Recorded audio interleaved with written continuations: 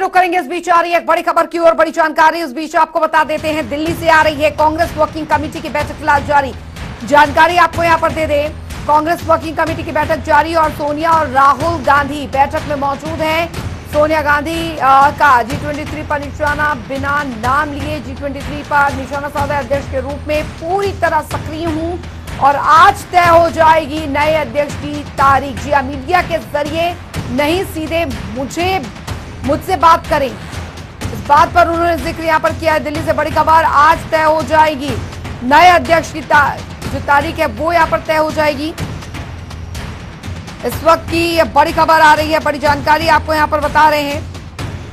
तो Congress working committee CWC की बैठक जो है फ़िलहाल जारी है और जानकारी यहाँ पर आपको यहाँ पर बता दें। सोनिया और राहुल गांधी बैठक में मौजूद हैं। तो सोनिया गांधी का जी ट्वेंटी थ्री पर निशाना। बिना नाम लिए जी ट्वेंटी थ्री पर निशाना साधा है।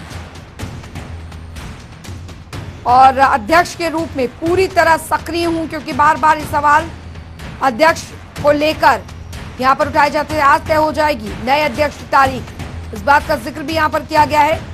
तो मीडिया के ज़रिए नहीं, सीधे मुझे बात करें। स्पर्श शर्मा स्पर्श शर्मा, संवाददाता हमारे साथ जुड़ गए हैं, ज़्यादा जानकारी के साथ स्पर्श।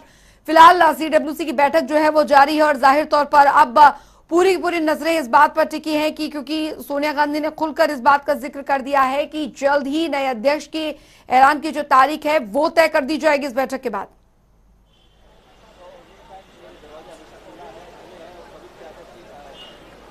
देखिए बिल्कुल कांग्रेस वर्किंग कमेटी की बैठक इस वक्त चल रही है। लगभग डेढ़ घंटे से ज़्यादा हो गया इस बैठक को चलते हुए और सबसे आ, बड़ा बयान जो अभी तक निकलकर इस वर्किंग कमेटी की बैठक से सामने आया है वो कांग्रेस की जो अंतरिम अध्यक्ष सोनिया गांधी की तरफ़ से निकलकर सामने आया। उन्होंने साफ़ तौर पर आ, बिना नाम लेते हुए जो जी के नेता थे उन पर निशाना साधा। उन्होंने साफ़ तौर पर स्पष्ट किया है कि मैं ही जो है अभी कांग्रेस पार्टी के अध्यक्ष हूँ और मैं पूरी तरीके से जो है जो है सक्रिय जो है देखने को मिल रही है। और इसके साथ साथ मीडिया में चर्चा ना करते हुए सीधे तौर पर अगर मुझसे बात की जाएगी तो वो जो है काफ़ी बेहतर रहेगा। ये जो है सोनिया गांधी की तरफ़ से अपने ओपनिंग रिमार्क जो कांग्रेस वर्किंग कमेटी की बैठक में दिए गए थे उसमें कहा गया है याद होगा पिछले दिनों आ, कपिल सिब्बल की बात करें तो उनकी तरफ़ से प्रेस कॉन्फ्रेंस करी गई थी। उसमें साफ़ तौर पर यह कहा गया था कि ये पता ही नहीं चलता है कि कांग्रेस पार्टी में अभी मौजूदा अध्यक्ष कौन है। उसके साथ साथ जो जी ट्वेंटी थ्री के नेता थे वो लगातार जो नेतृत्व है उसको लेकर जो है सवालिया निशान उठाते हुए नज़र आते थे।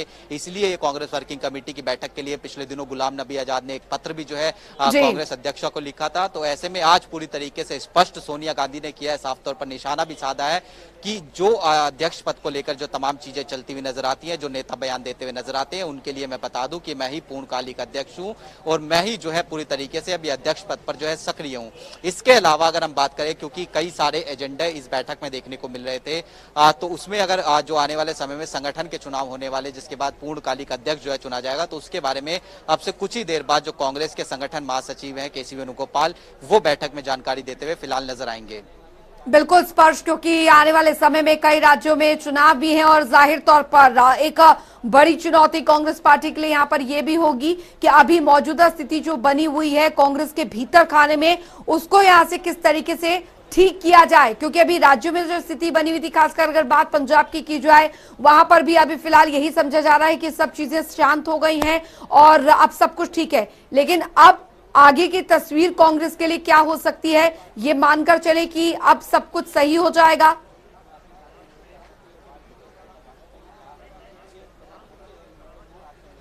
देखिए, आगे की तस्वीर को लेकर भी अगर हम समझे, क्योंकि कांग्रेस वर्किंग कमेटी की बैठक में तमाम बड़े नेता शामिल होते हैं, इसमें कांग्रेस के जो नेशनल एजेंडे होते हैं, उनको लेकर जो है चर्चा की जाती है। अंदरूनी विवाद हो गए कांग्रेस के, या फिर किस तरीके से आने वाले चुनाव में जो कांग्रेस है, उतरने वाली है, या फिर आज जिस तरीके के राष्ट्रीय जो जो मुद्दे चल रहे हैं, उनको लेकर चर्चा की गई है।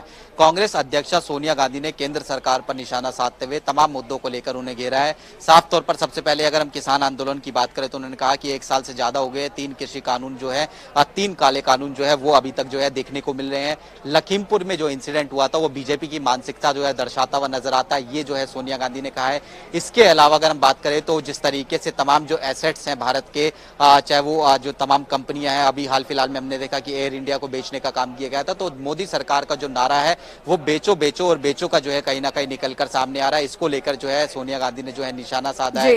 इसके अलावा आने वाले चुनाव में किस तरीके से कांग्रेस जो है मजबूती के साथ जो है चुनाव में उतरती हुई नज़र आ सकती है। इसको लेकर अपनी बात जो है सोनिया गांधी ने रखी है। जम्मू कश्मीर जिस तरीके के हालात हैं या फिर चाइना के साथ जिस तरीके के हालात देखने को मिले तो इन तमाम मुद्दों को लेकर जो है एजेंडा जो है अभी फ़िलहाल सोनिया गांधी ने जो है सेट कर दिया है कांग्रेस वर्किंग कमेटी की बैठक के लिए। अब सबसे पहले जो है कांग्रेस के जो संगठन महासचिव है केसी वेणुगोपाल, वो अपनी बात रखते हुए नज़र आएँगे और फिर उसके बाद अलग अलग नेताओं को जो है बोलने का मौका दिया जाएगा, जिसमें हम देखेंगे कि जी के जो नेता है, वो किस तरीके से अपने बयान जो है वो रखते हुए यहाँ पर नज़र आएँगे।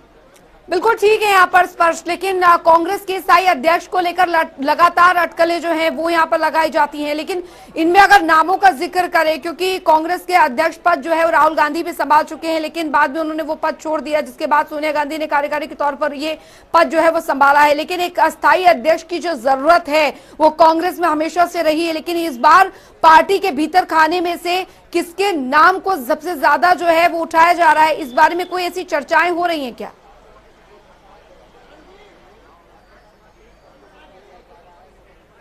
देखिए अभी आज जो है चर्चा इसको लेकर नहीं हो रही है। अभी आज जो है चर्चा इसको लेकर है कि किस तरीके से पार्टी जो है मज़बूत होती हुई नज़र आए।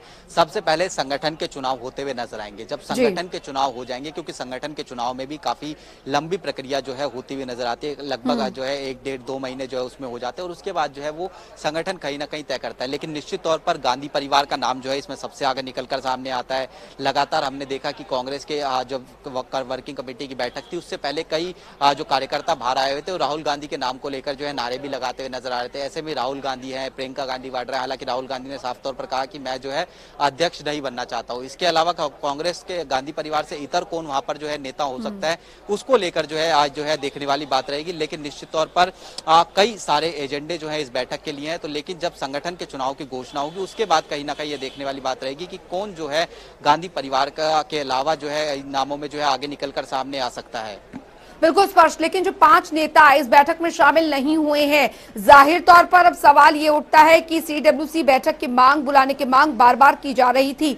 बावजूद इसके, जब ये बैठक यहाँ पर की जा रही है तो पाँच नेता यहाँ पर क्यों नहीं आए?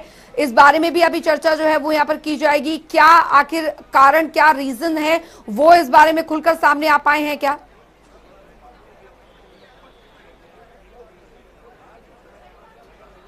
देखिए, ऐसी कोई बड़ी बात नहीं है। पाँच नेता शामिल नहीं हुए क्योंकि सबके अपने अपने जो है, एजेंडे थे। कई नेता जो हैं जो शामिल नहीं हुए वो उसमें से बीमार जो है देखने को मिल रहे हैं, जिसमें पूर्व प्रधानमंत्री जो डॉक्टर मनमोहन सिंह है, उनकी तबीयत जो है खराब है, वो एम्स में भर्ती है। इसके अलावा जो एक्स सीएम रह चुके हैं और मौजूदा जो है सांसद है दिग्विजय सिंह, उनकी जो है कहीं ना कहीं इसी तरीके की परिस्थिति आती। तो ऐसे में तमाम नेताओं ने पहले ही जो है इस प्रकार की जानकारी दे दी थी और कांग्रेस वर्किंग कमेटी की बैठक में ये भी कहा गया था कि जो भी नेता इस बैठक में शामिल होता हुआ नज़र आएगा।